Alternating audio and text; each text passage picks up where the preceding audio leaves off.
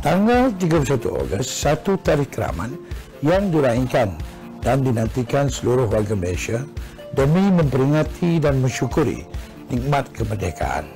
Kita perlu tetapkan jati diri serta akal dan budi kerana perkara ini boleh mencorakkan masa depan negara kita demi mencapai sebuah negara bangsa yang merdeka. Selamat menyambut Hari Kebangsaan tahun 2019. Sayangi Malaysia Mehmet Çamış'ı.